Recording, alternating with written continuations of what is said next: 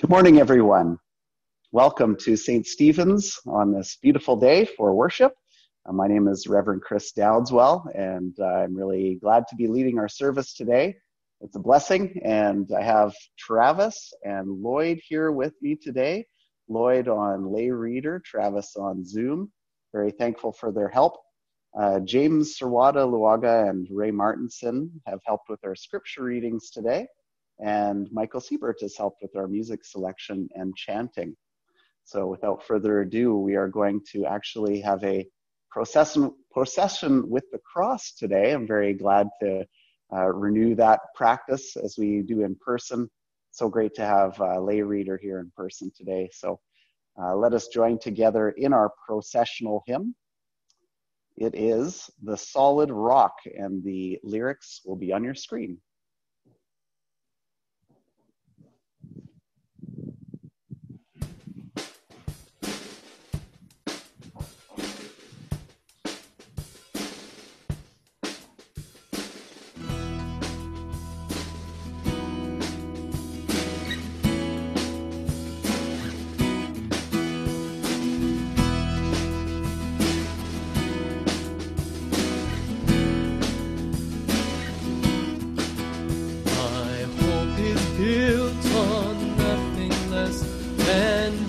Jesus' blood and righteousness. I dare not trust the sweetest name, but wholly lean on Jesus' name. On Christ the solid.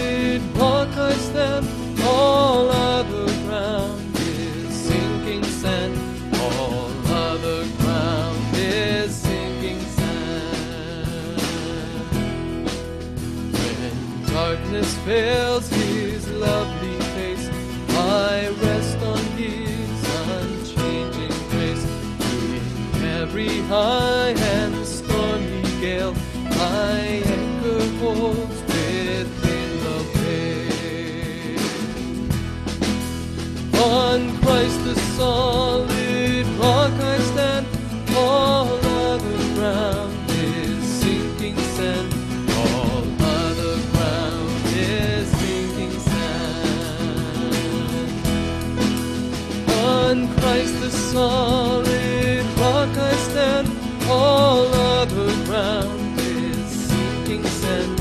All other ground is sinking sand.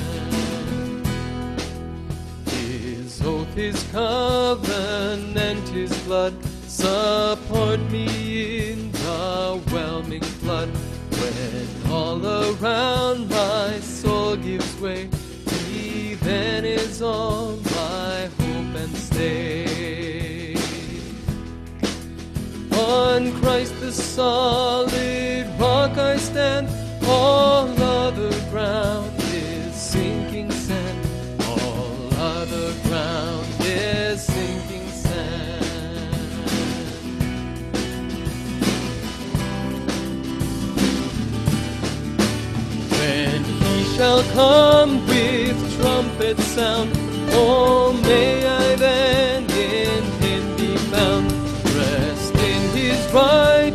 righteousness alone, faultless to stand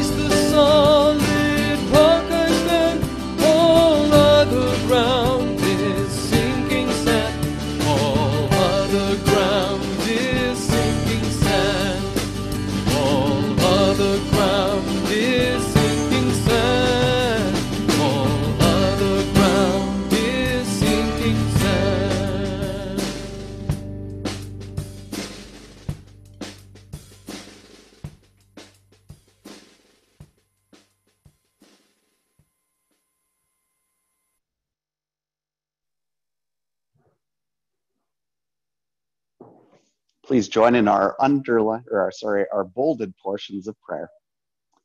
Lord, open our lips, and our mouth shall proclaim your praise. O God, make speed to save us. O Lord, make haste to help us. Glory to the Father, and to the Son, and to the Holy Spirit, as it was in the beginning, is now, and will be forever. Amen. Alleluia.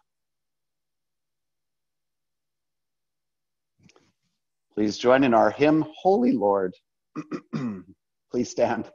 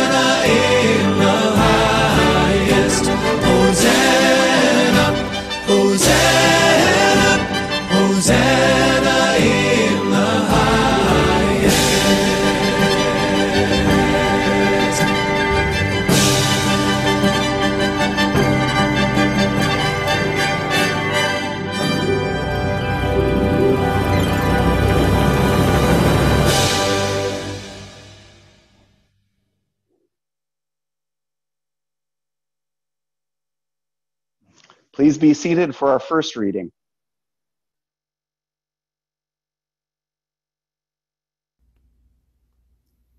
A reading from Exodus chapter 17, verses 1 to 7.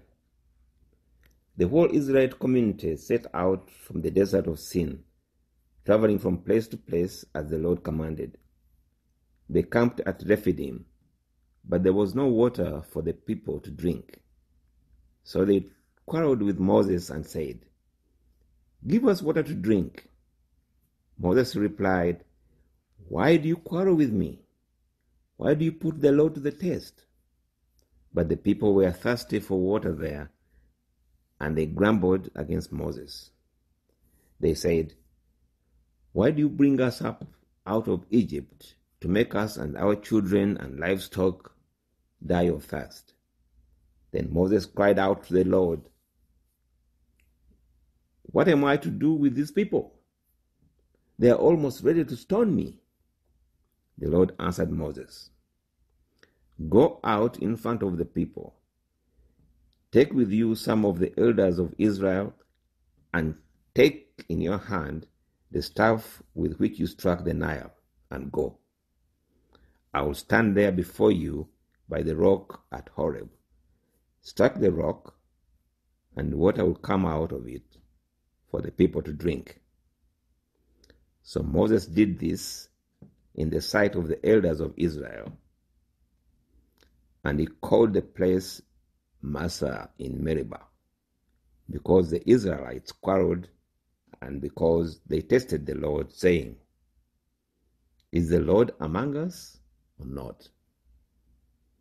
The word of the Lord. Thanks be to God.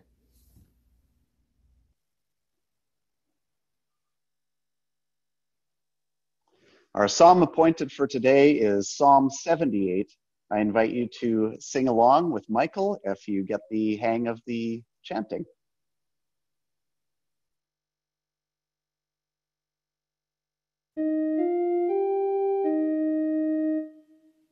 Hear my teaching, O my people. Incline your ears to the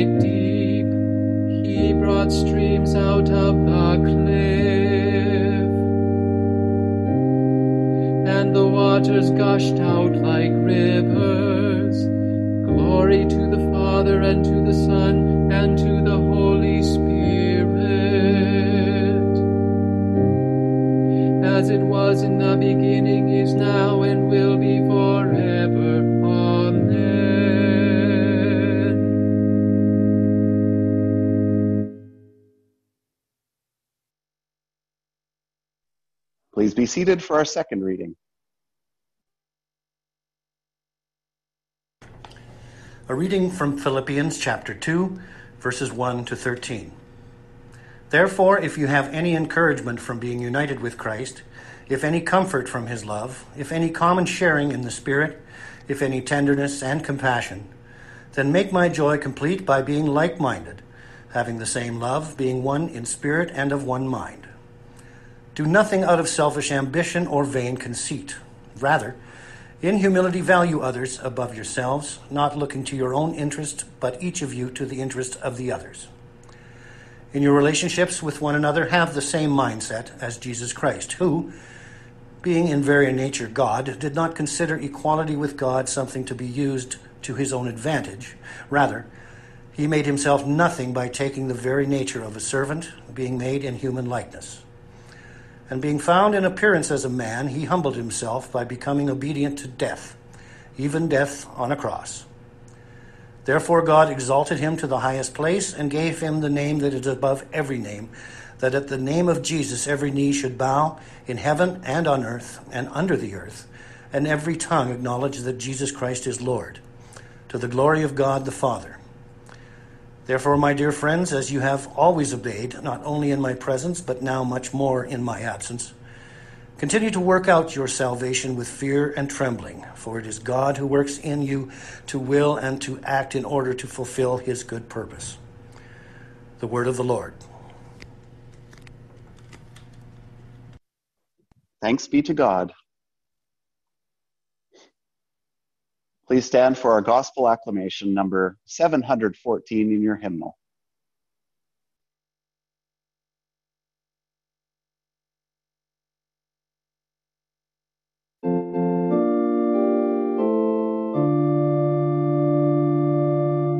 Alleluia,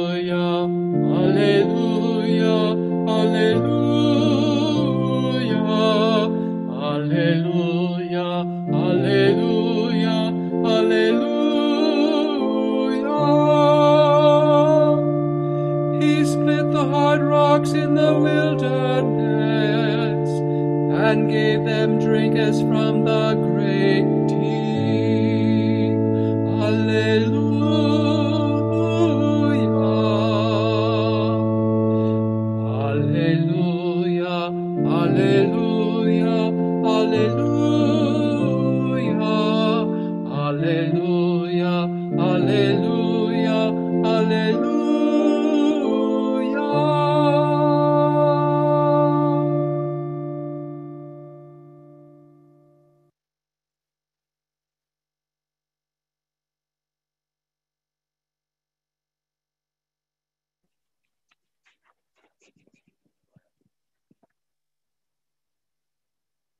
be with you.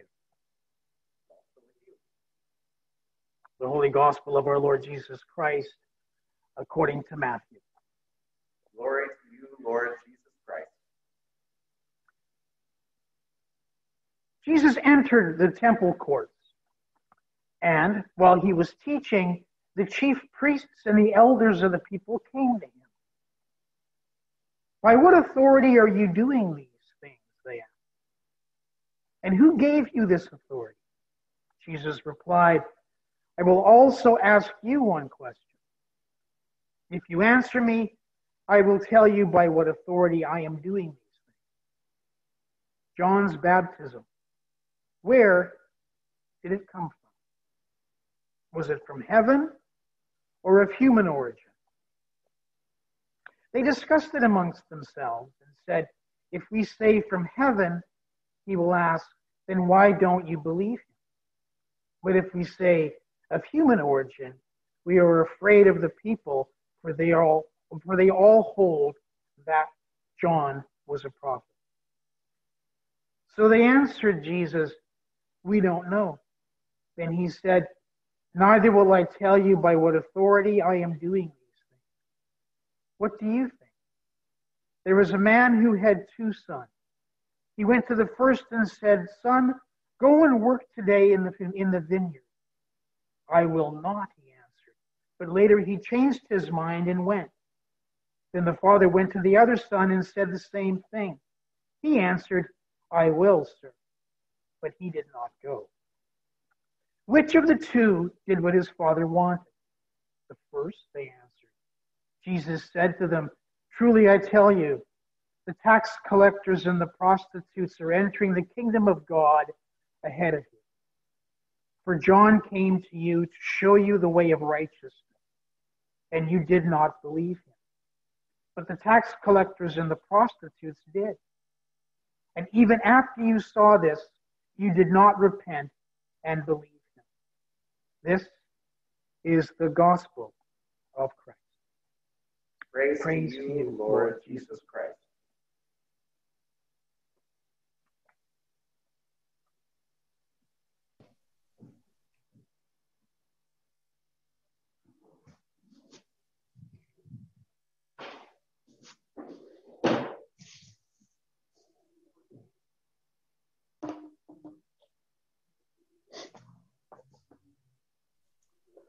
May the words of my mouth and the meditations of all of our hearts be pleasing to you, O Lord, our strength and our Redeemer. Amen.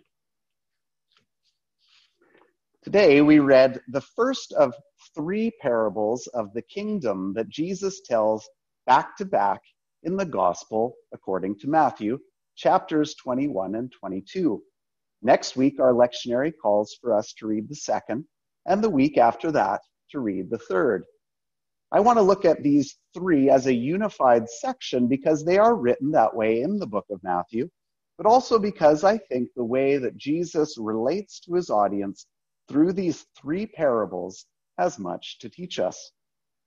To give you a little context, in the lead up to these parables, Jesus had just the day before made what we call the triumphal entry into Jerusalem.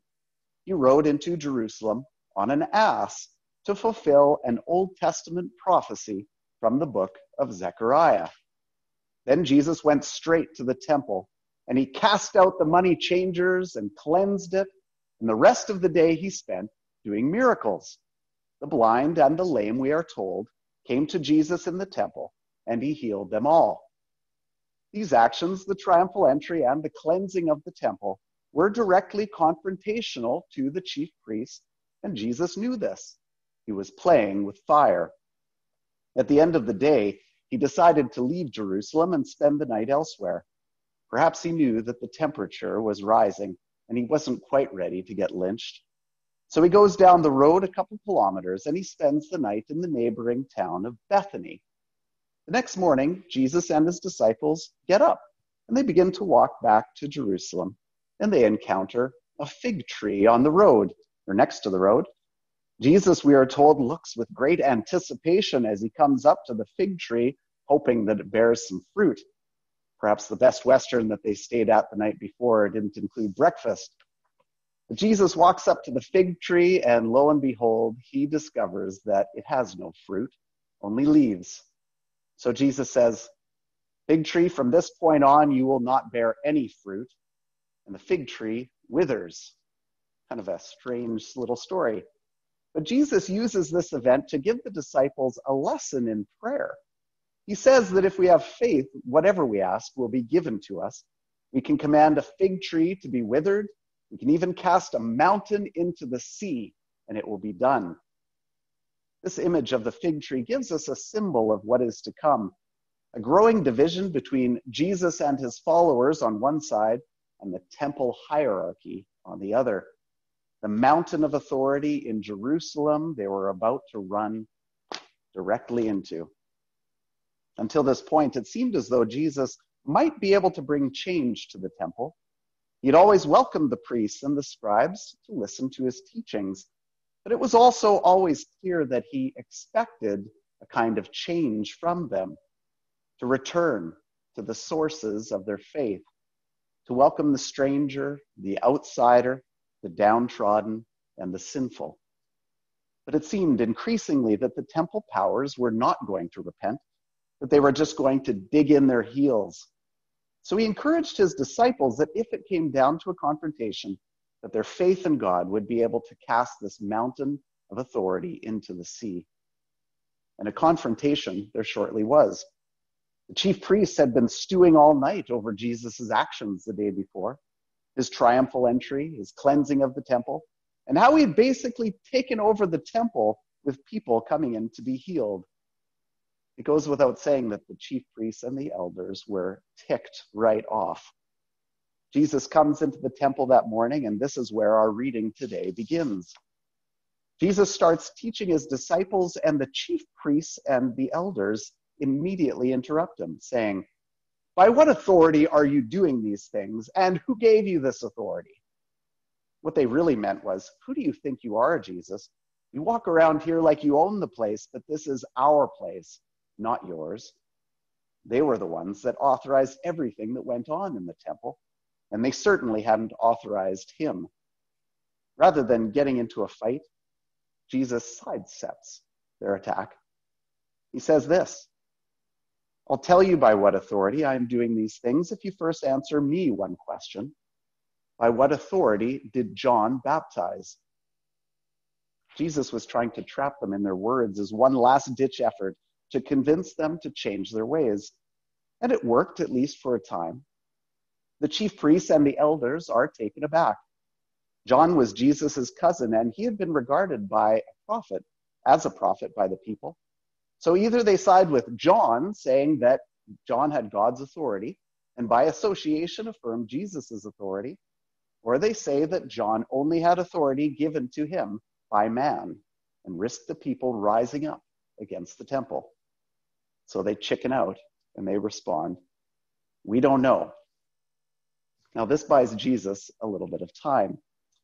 Well, then I won't answer you either, he replies.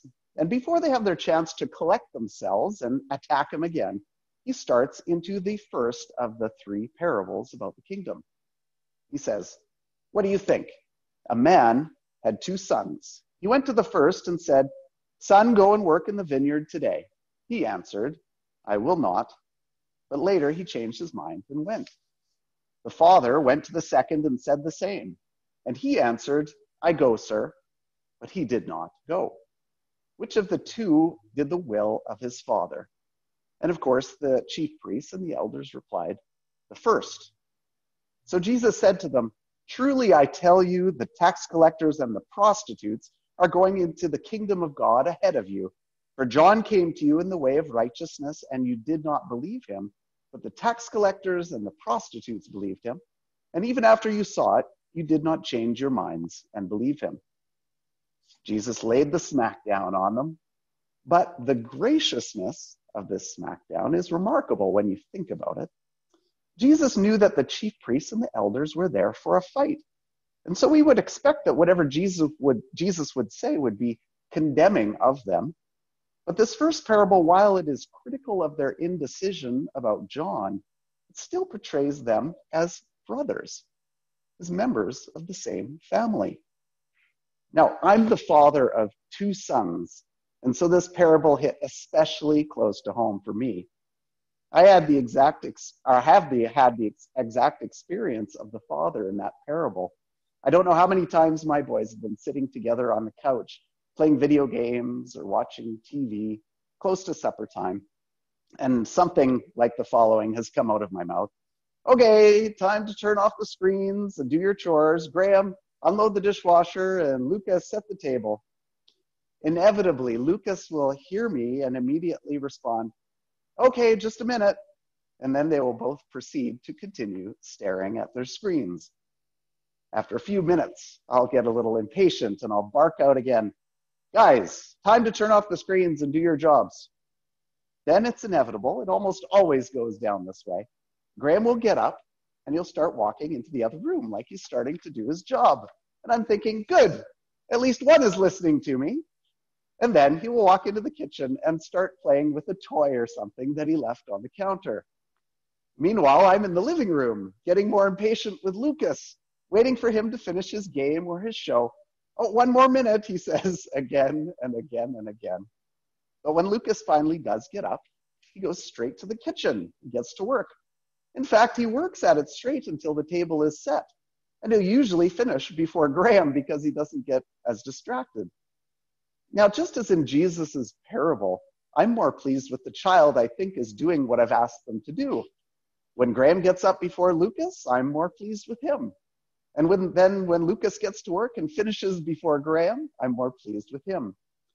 But what really stands out to me about Jesus' parable, more than anything, is that Lucas and Graham are my sons who I love equally.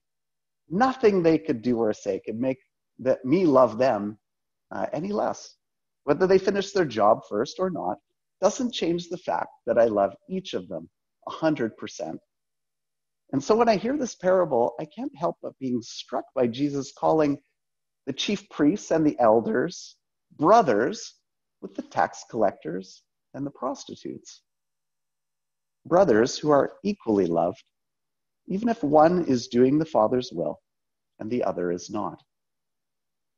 Jesus tells them that the tax collectors and the prostitutes are going into the kingdom ahead of them.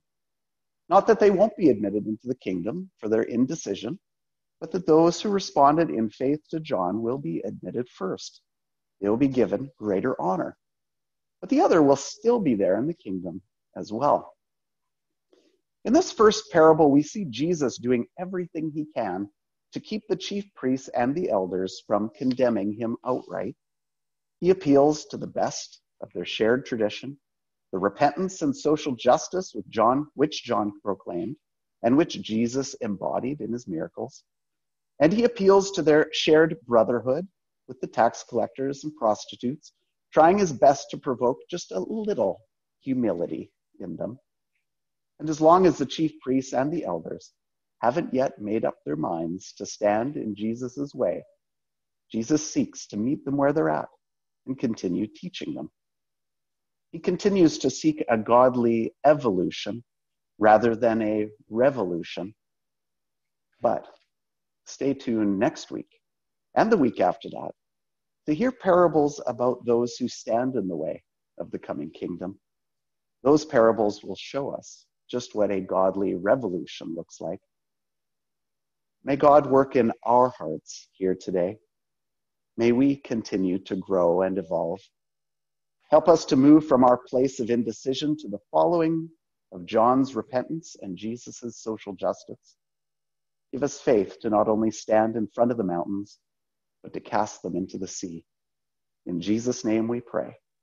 Amen.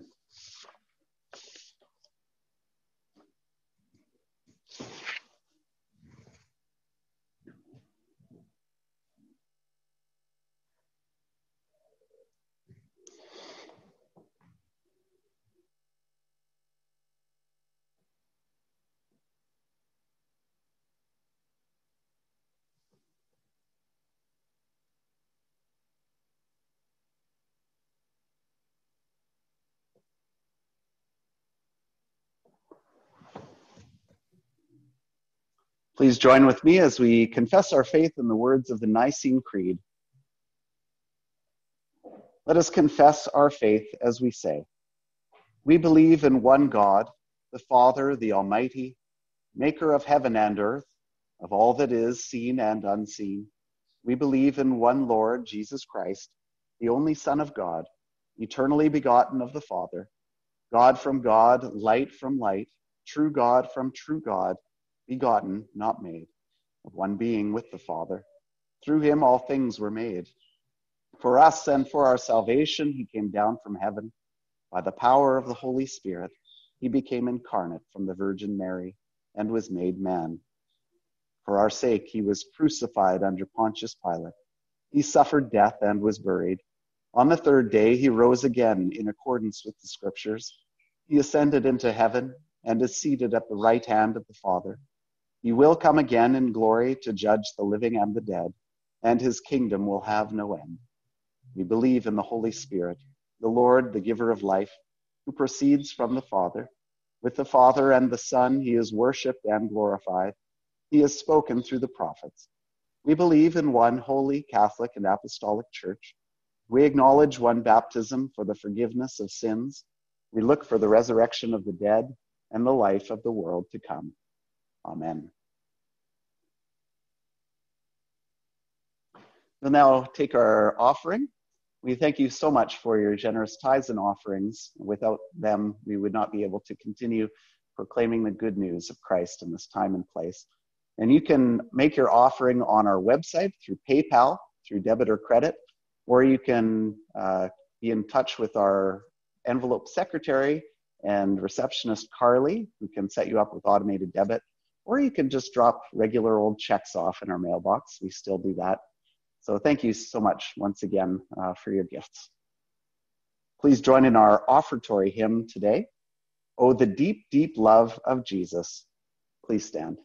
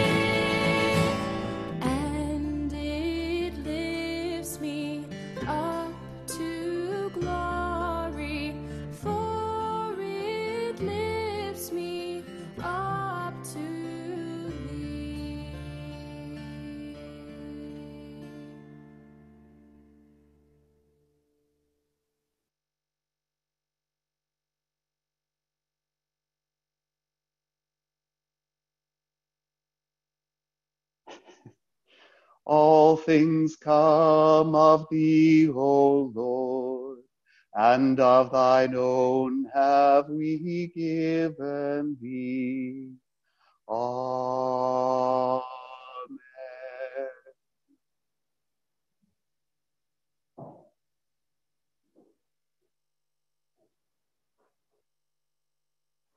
Please stand, sit, or kneel as you find most prayerful for our prayers of the people.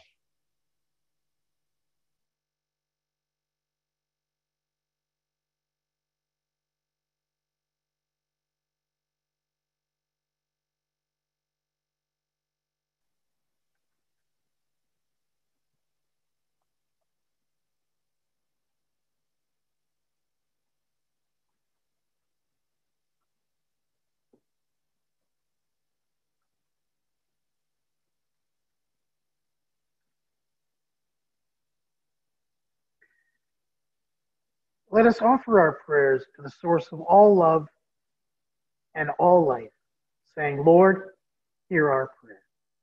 Lord, hear our prayer.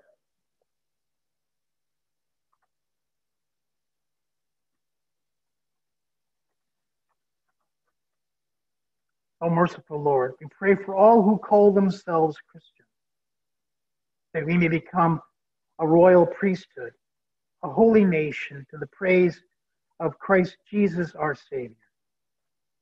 Lord, hear our prayer. We pray, Lord, for the clergy and lay leaders as they as they lead their congregation through alternative services during this pandemic. Lead them until we're able to gather again in, in our churches. We pray, Lord, for health and care workers and all who are providing essential services. And for, we pray for the support for members of our congregation as we adapt to the changes that we're facing. As Christians already work for justice and reconciliation, that it may be grounded in Scripture and in our common worship life. We need, Lord, with your help to pray consistently for God's healing. For our healing in our lives and in our broken relationships between our Indigenous brothers and sisters and newcomers to our society. Oh Lord, in your mercy, hear our prayer. Oh Lord, we pray for the most Reverend Linda Carroll Nicholls, our primate. Indeed, for the Reverend, the Right Reverend Greg Kerr Wilson, our Metropolitan, and of course for the Right Reverend Rob Hardwick, our Bishop here in the Diocese of Qu'Appelle. Indeed, Lord, we pray that they and all ministers remain faithful to their calling and rightly proclaim the word of. We pray also, Lord, for our companion dioceses and the bishops and clergy and congregations in, the, in Mainga and West Malaysia and in Lichfield. We pray, Lord, for the clergy and lay leaders and congregations and the ministries of the parish of All Saints, Regina. We pray for the council and congregations of the North and for its dean. We pray, Lord, for the, the region of the British Columbia Synod of the Evangelical Lutheran Church in Canada.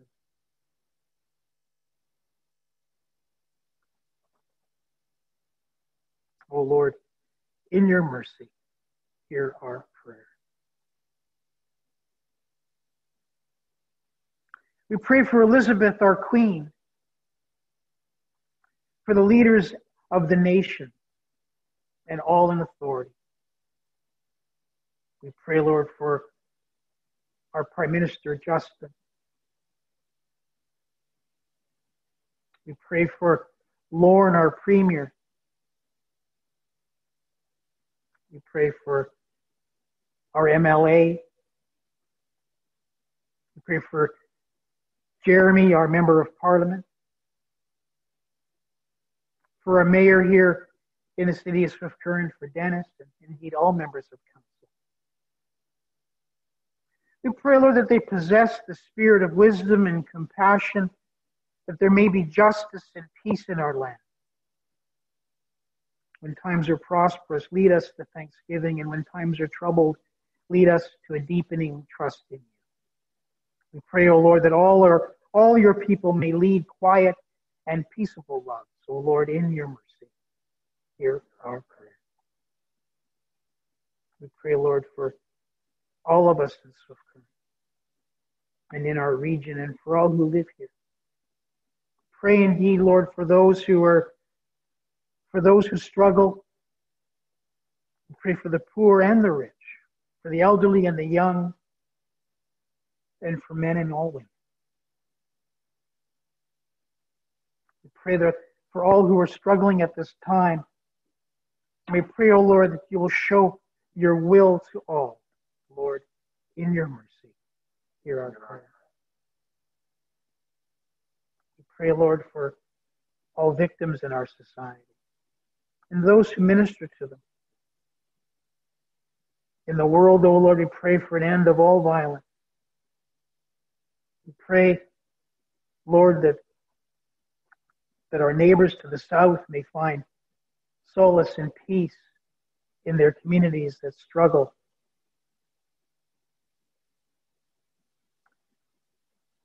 We pray, O oh Lord, that you'll be their help and their defense. O oh Lord, in your mercy, hear our prayer. We pray, Lord, for those who are preparing for baptism or for those recently baptized, that they may all be strengthened in their faith. O oh Lord, in your mercy, hear our prayer. We give thanks for all the saints who have found favor in your sight. From earliest times, our prophets and our apostles, our martyrs, and those whose names are known only to you alone. In this parish, O Lord, we pray for, of course, our rector, Reverend Chris and Reverend Krista Dowdswell and their family. We pray for all those who minister in our parish. We pray indeed, Lord, for all in our hospitals and special care homes and those who minister to their needs. And we pray for those who have asked for help, healing, or comfort. We pray for Donald and Amy, for Sammy and Carrie. We pray, Lord, for Michael and Verona, for Agatha,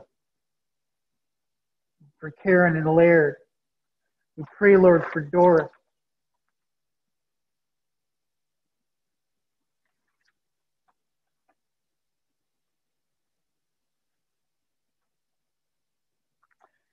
And those known only to ourselves. O oh Lord, in your mercy, hear our prayer. Holy God, make us aware of your coming to us. Make us sensitive to your presence and alert to your call, that we may know that we dwell in you and you in us, that we may give ourselves to you in love and in service through Jesus Christ our Lord, who is alive and reigns with you and the Holy Spirit, one God, now and forever. Amen.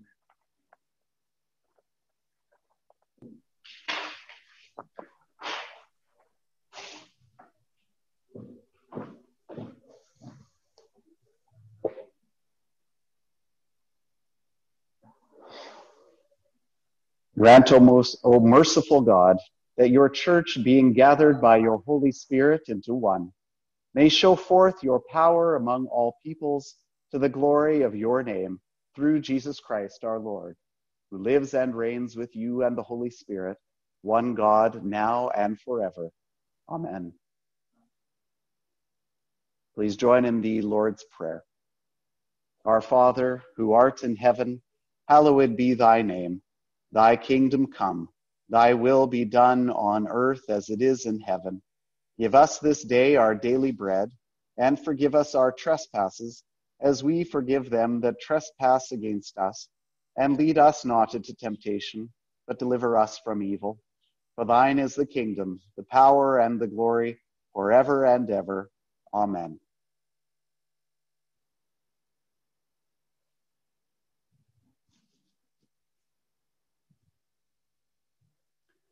And the peace of God, which passes all understanding, keep your hearts and minds in the knowledge and love of God and of his Son, Jesus Christ our Lord. And the blessing of God Almighty, the Father, the Son, and the Holy Spirit be amongst you and remain with you always. Amen.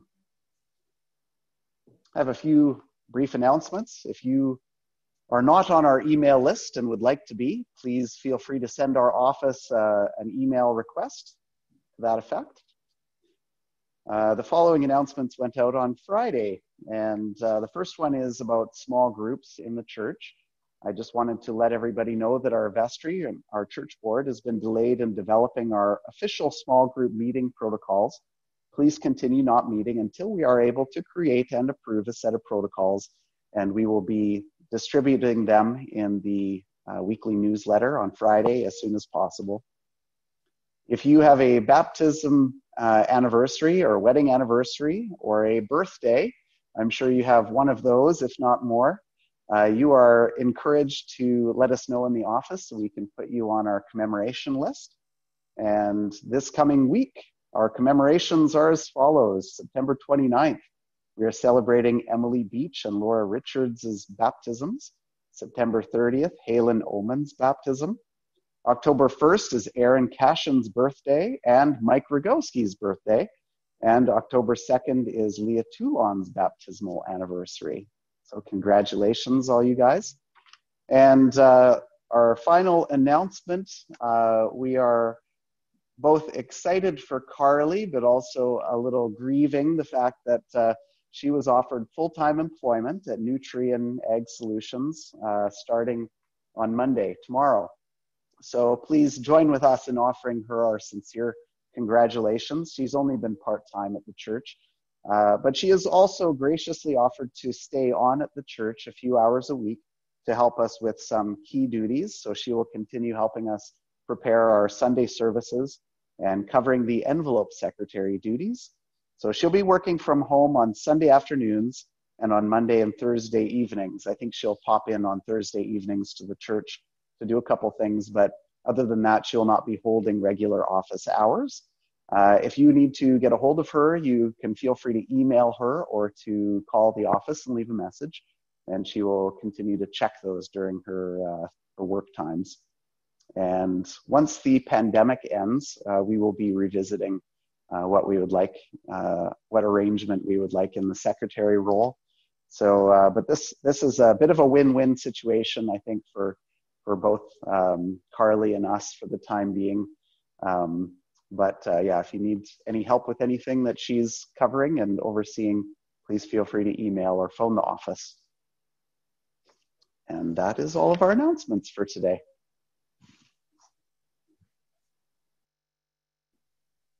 Please join in our recessional hymn, How Deep the Father's Love for Us. Please stand.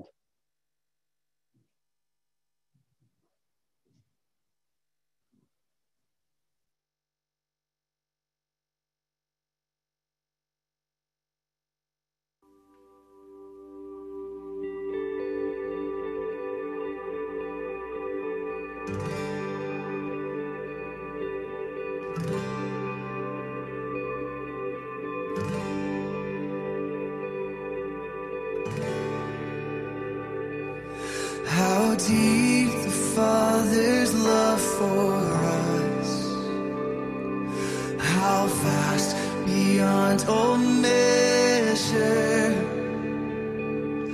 That He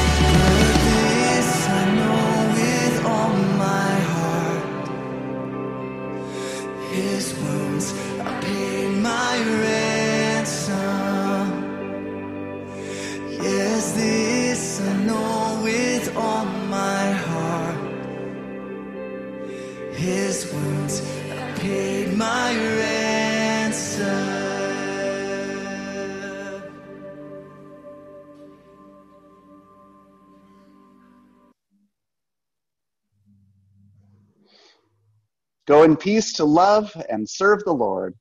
Thanks be to God. Alleluia.